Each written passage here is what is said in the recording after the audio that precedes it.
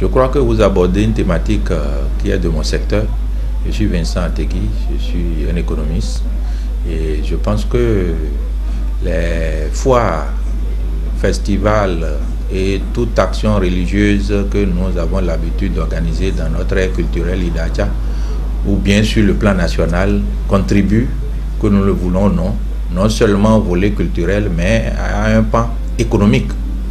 Parce que lors de ces il y a beaucoup d'acteurs économiques qui viennent échanger leurs produits, leur savoir-faire, faire leurs prestations au public, ce qui fait que ça engendre beaucoup de revenus.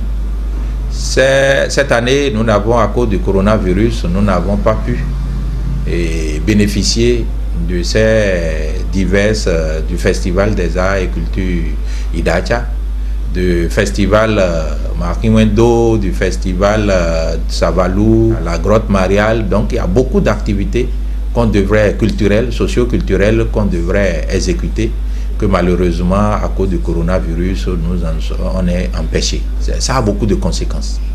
Je commence par voir euh, au niveau euh, des bars, restaurants, des hôtels, tout ça. Vous savez que lorsqu'il y a des visiteurs, les chambres d'hôtel sont euh, prises d'assaut. Nous savons que ceux qui vendent dans les bars peuvent faire des prestations, etc.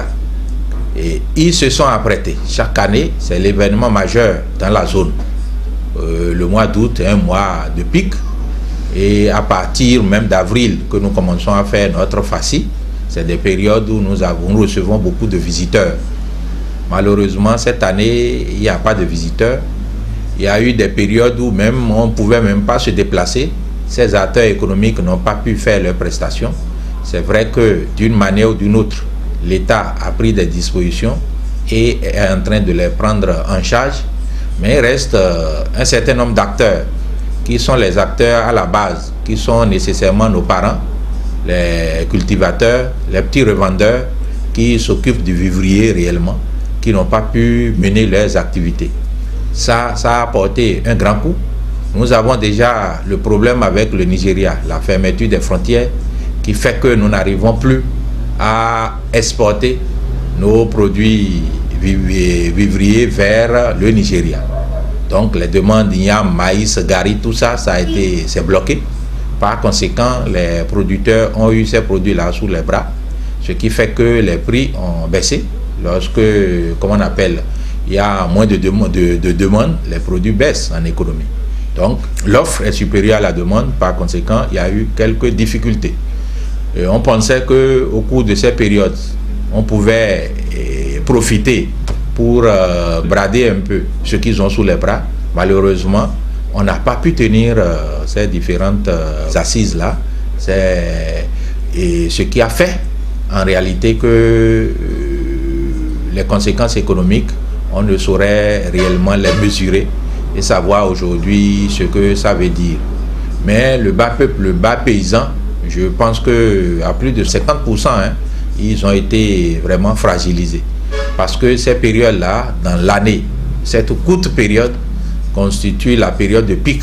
Si vous allez dans leur chiffre d'affaires, vous voyez que c'est au cours de cette période-là qu'ils vendent beaucoup, ils font assez de chiffre d'affaires.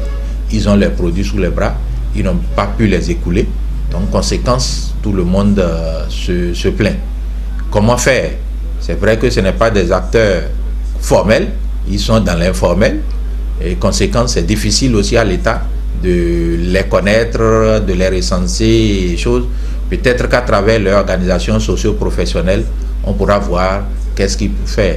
Et je sais que l'État réfléchit avec euh, les structures des ATDA, tout ça là, et le ministère du Commerce, le ministère des Finances, des réflexions sont en cours pour savoir comment amoindrir un peu ces effets-là sur euh, les, producteurs.